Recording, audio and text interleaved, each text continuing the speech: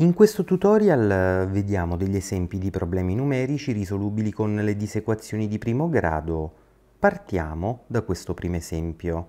Aggiungendo alla somma di due numeri pari consecutivi il triplo del maggiore dei due numeri, si ottiene una quantità maggiore di 108. Calcola quali sono i valori più piccoli che possono assumere i due numeri. Per risolvere questo esercizio indichiamo con 2x un numero pari. Il consecutivo pari di 2x si scrive 2x più 2. Dal testo sappiamo che se aggiungiamo alla somma di due numeri pari consecutivi, e allora scrivo primo numero pari 2x più il secondo numero pari 2x più 2 e aggiungiamo ora il triplo del maggiore, il maggiore tra i due numeri risulta essere 2x più 2 e allora devo scrivere più 3 volte di 2x più 2. In questo modo otteniamo una quantità maggiore di 108 e allora vuol dire che tutta questa quantità risulta essere maggiore di 108. Otteniamo così una disequazione che andiamo a risolvere. Sommo come prima cosa 2x con 2x e scrivo 4x, poi più 2 ed ora eseguo questa moltiplicazione. Più 6x più 6 maggiore di 108. Sommo ora 4x più 6x ed ottengo 10x. Sommo 2 più 6 ed ottengo 8 che scrivo a secondo membro. Quindi scrivo maggiore di 108 meno 8, 10x maggiore di 100. Divido ora tutti e due membri per 10, in questo modo semplifico il coefficiente della x. 100 diviso 10 ottengo 10. Ottengo così x maggiore di 10. Il testo mi chiede di andare a calcolare quali sono i valori più piccoli che possono assumere i due numeri. Il primo valore accettabile deve essere un numero intero maggiore di 10 e allora il primo valore risulta essere 11. Questo vuol dire che al posto della x sostituisco 11.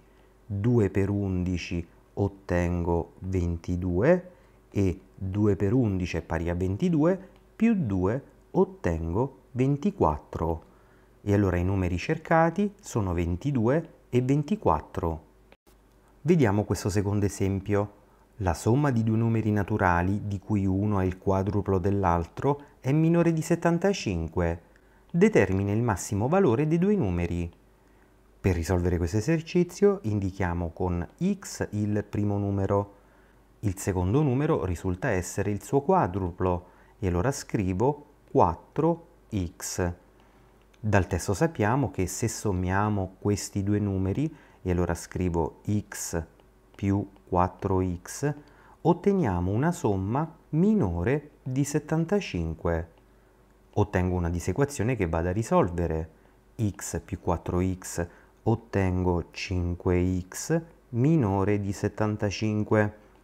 Divido ora tutti e due i membri per 5 e semplifico il coefficiente della x.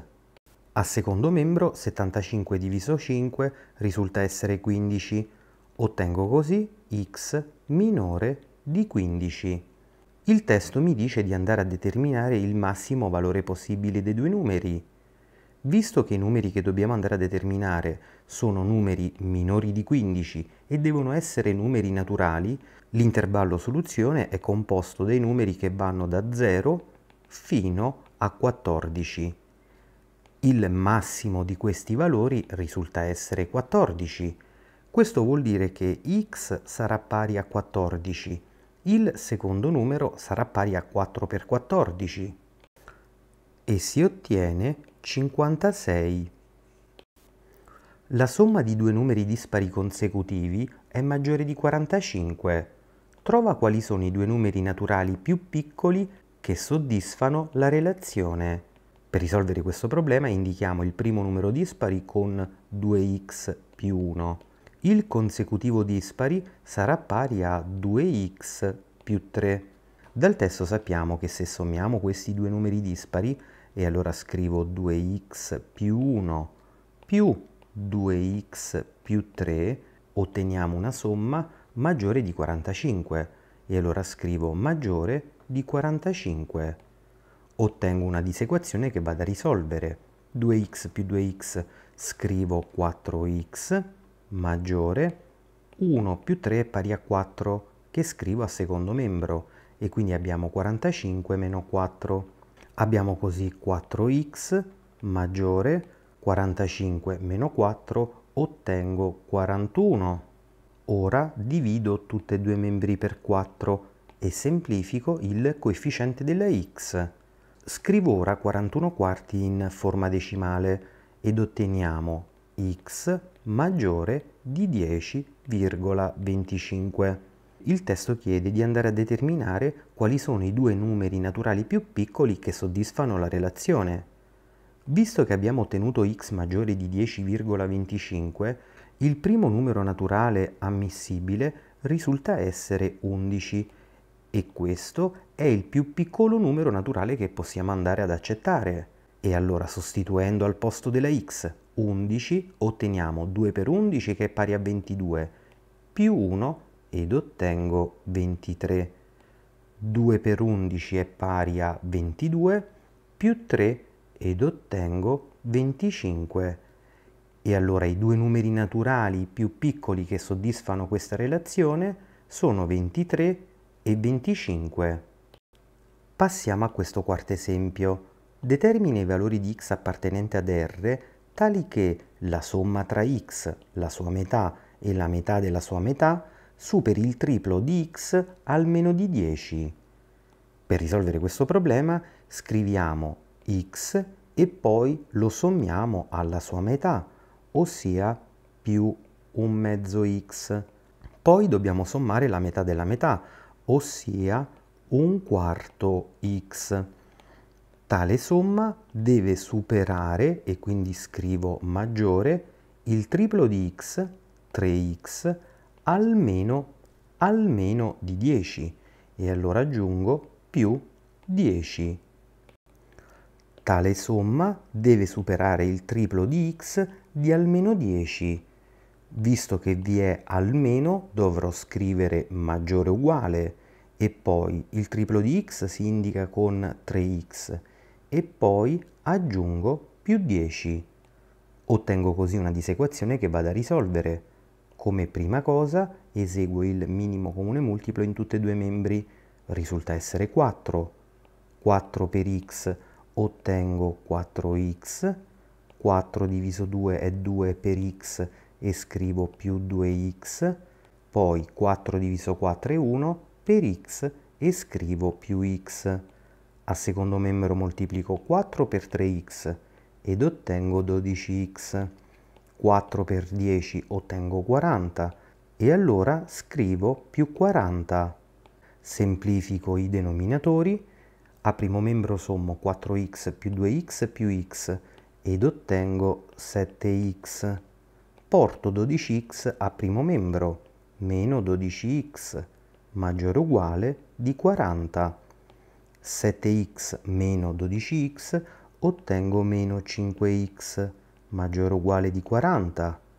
Visto che il coefficiente della x è negativo, moltiplico tutti e due i membri per meno 1 e cambio verso 5x minore o uguale di meno 40. Divido ora tutti e due i membri per 5 e semplifico il coefficiente della x. 40 diviso 5 è pari a 8 ed ottengo x minore o uguale di meno 8. Vediamo quest'ultimo esempio. Determina per quali valori di k l'equazione 3 meno k per x meno 5 uguale a 0 ammette soluzione positiva. Come prima cosa vado a ricopiare l'equazione 3 meno k per x meno 5 uguale 0. L'incognita risulta essere x e vado a risolvere questa equazione.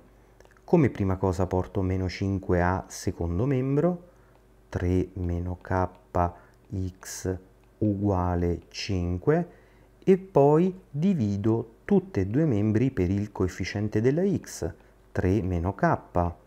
In questo modo semplifico il coefficiente di x. Ottengo come soluzione x uguale 5 fratto 3 meno k.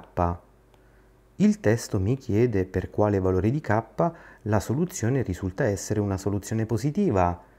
In altre parole, questa soluzione 5 fratto 3 meno k deve essere una quantità maggiore di 0.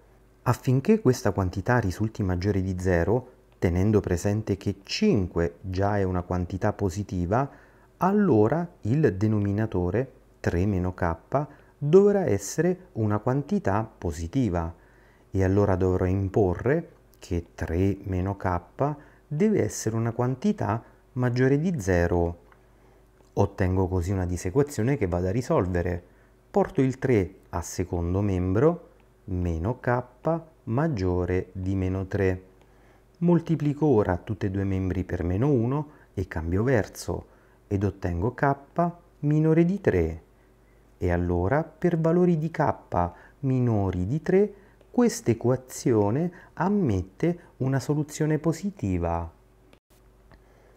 E con questo termino il tutorial su esempi di problemi numerici risolubili con le disequazioni di primo grado.